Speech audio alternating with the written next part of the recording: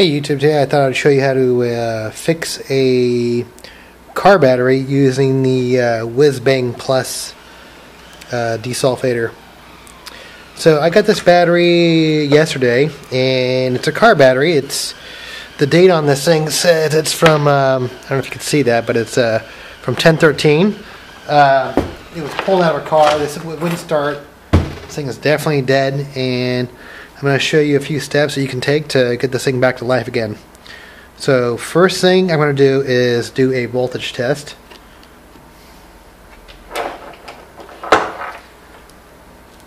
And I'm going to do positive and negative. And I don't know if you can see this, but we're getting, uh, this thing is definitely pretty dead.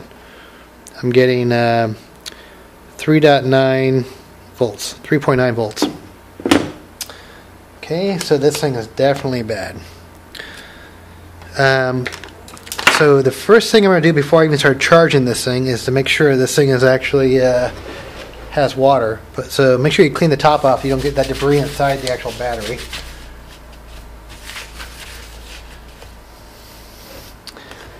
And pop the covers off.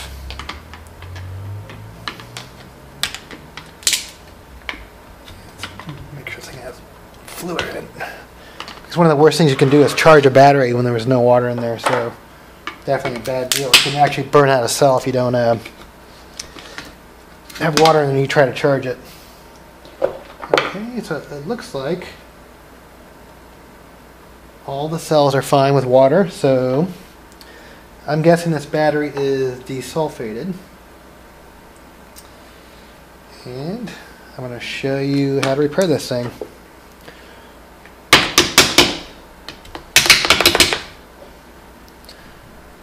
So an important thing is when a battery is this dead, you, you don't want to put this thing on a fast charger or it can actually destroy the battery.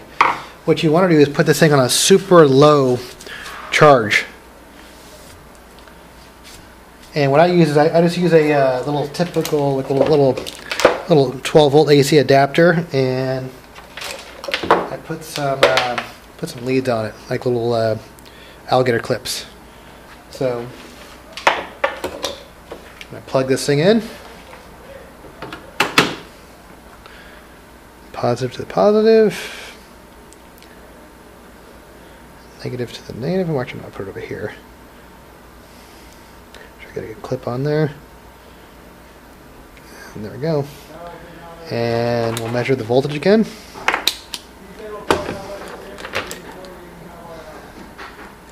So we should be reading about, uh, yeah, so we're now we're at 12 volts. So I just want to make sure we're getting contact. Okay. Now the next thing is to hook up the uh, Wizbang.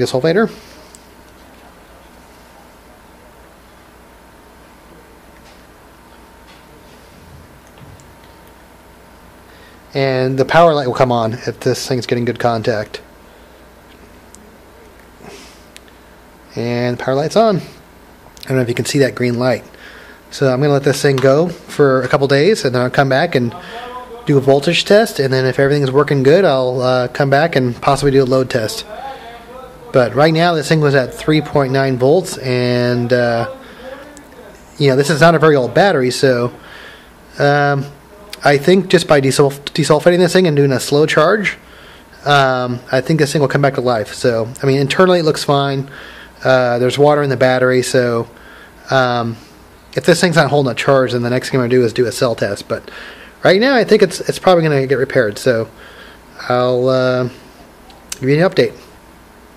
So I thought I'd give you an update on this uh, battery repair project. Um, it's been uh, desulfating for uh, one night. And yesterday, when I tested the uh, voltage on 2 5 2015, it was uh, 3.92 volts. Now it's the 16th. And let me see. So I'm to unplug the leads here the positive, negative for the power, a little adapter. Unplug the Wizbang. Hook up my voltmeter. Okay, and see where we're at. Okay. Okay, so now we're at 1170 or 11.7, you know, 6 volts. So it's still not good. Good enough to put it, at least it's not a new battery, but I'm to let this thing sit here for another few days and see what happens. But already a huge improvement just after one day. So um, I'll get back and uh, try again uh, tomorrow or probably a couple days from now. But uh, yeah, I want to get up to like probably hopefully about 12, 12.6 volts. And then I'll think the, then I'll do a load test. But all right. Okay, quick update on the uh, desulfurator project. Um, this thing's been going for uh, four days now, and I see a huge improvement. So uh, I would say this thing actually works. Uh, I'm going to try this thing on a couple different batteries, but uh, this battery was totally dead. I mean, this thing was uh, it sat on the somebody's garage floor for two years, and uh, and the guy even tried charging it, you know, with a charger, and it didn't work. So let me show you real quick the last voltage reading I got, and I'm gonna put this on here, or leave it, leave it on there for a month, and see how it goes. I'm gonna take the positives off, and let me show you what I got. So, ah, so at the same time. Let's see if you can see that. So 12.16, 17 volts. That's a huge improvement. So I think if I leave this on here for like, a, like another month, this thing would be like a brand new battery.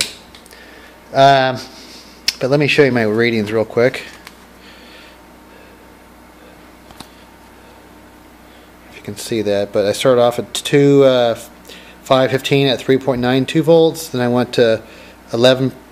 Next day was 11.7 volts. Next day was 12.07, and then 12.17 today. So. Um, Cool. So this is my uh, review of the uh, Wizbang Plus desulfator, and I think it works. Cool.